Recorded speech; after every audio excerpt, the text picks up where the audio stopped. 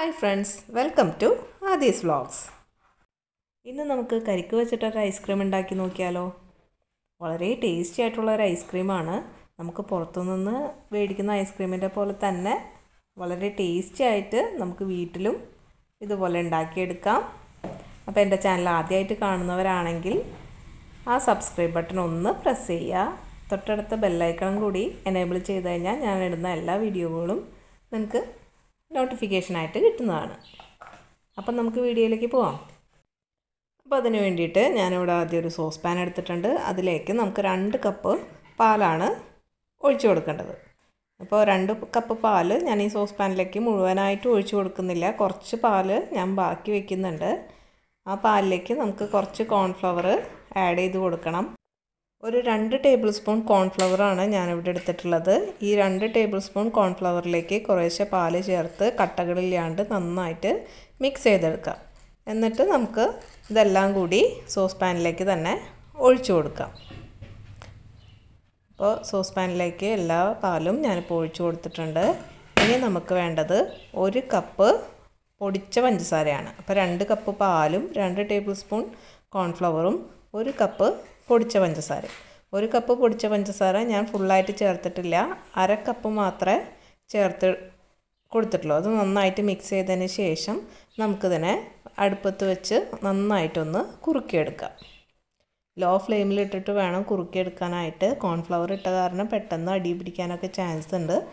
അപ്പോൾ അതൊക്കെ നോക്കിയിട്ട് വേണം നമ്മൾ ചെയ്യാനായിട്ട്.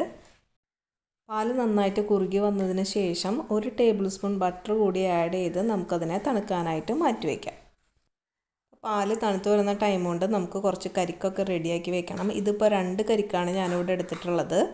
ഇപ്പോൾ ഒരു കപ്പ് പാലിന് ഒരു കരിക്കായാലും മതി. ഞാനിപ്പോൾ രണ്ട് കപ്പ് പാൽ എടുത്തിട്ടുണ്ട്. അതുകൊണ്ടാണ് രണ്ട് കരിക്ക് എടുത്തിട്ടുള്ളത്. ഇത് അധികം മധുരമില്ലാത്ത കരിക്കാണ്.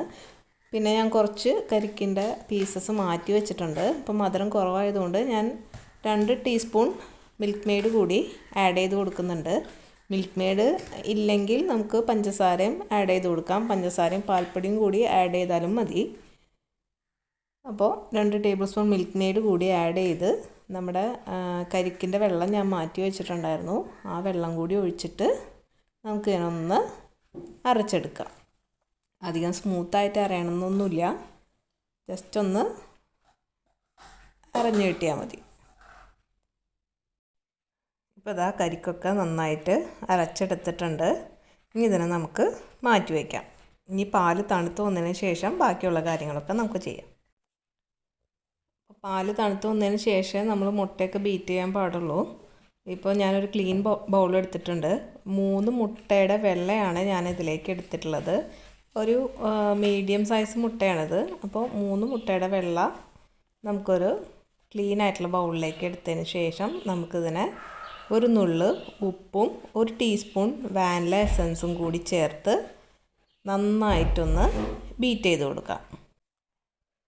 മുട്ട ഒന്ന് ഡബിളായി വന്നതിന് ശേഷം നമുക്ക് നേരത്തെ മാറ്റി വെച്ചിട്ടുള്ള അരക്കപ്പ് പഞ്ചസാര നമുക്കിതിലേക്ക് ആഡ് ചെയ്ത് നല്ല പീക്ക് ഫോമിൽ നമുക്കിതിനെ ബീറ്റ് ചെയ്തെടുക്കാം.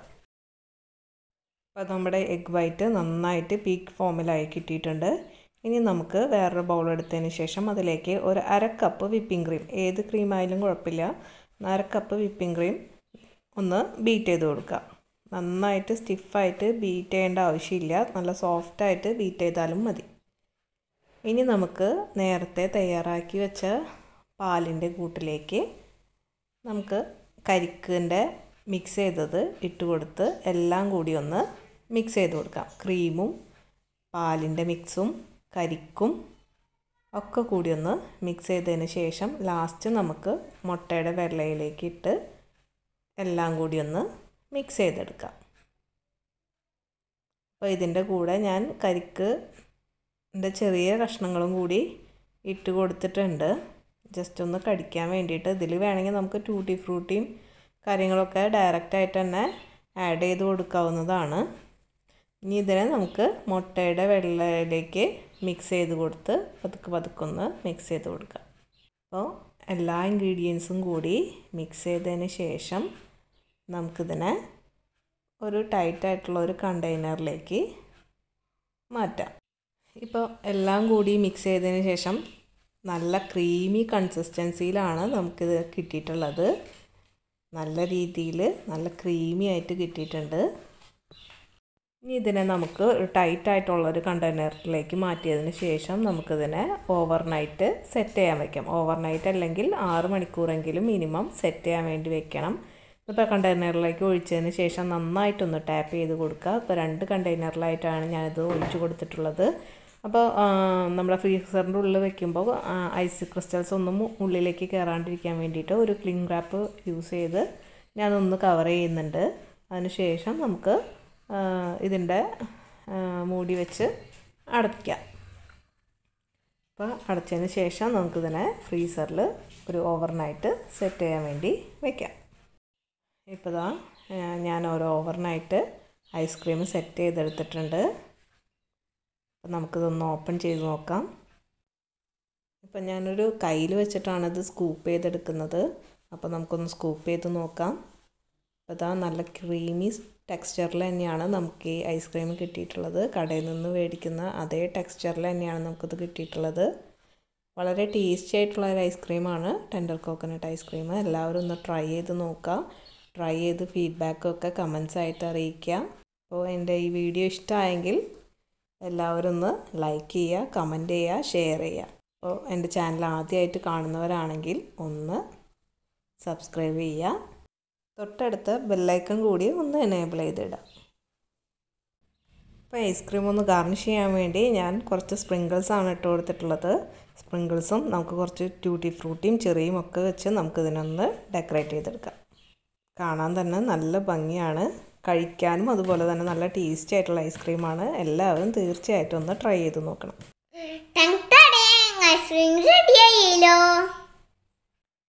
അതാ ബാക്ക്ഗ്രൗണ്ടിൽ ഒരാളും കൂടി ഉണ്ട്. എന്റെ അനിയത്തിയാണത്. ചിത്ര എന്നാണ് പേര്. അപ്പം ഞങ്ങൾ ഐസ്ക്രീം സ്കൂപ്പ് ചെയ്യണ സമയത്താണ് ആൾ വിളിച്ചിട്ടുള്ളത്. അപ്പോൾ ആൾക്കും കണ്ടപ്പോൾ തന്നെ ഭയങ്കര ഇഷ്ടമായിട്ടുണ്ട് അപ്പം ഞാൻ ബാക്കിയുള്ളവരുടെ അഭിപ്രായം കൂടി കേട്ടാലോ നമുക്ക്?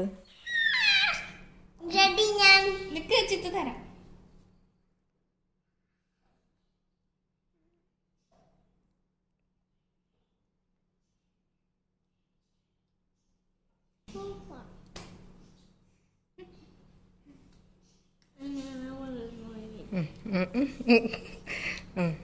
നിന്നെ കണ്ടിട്ട്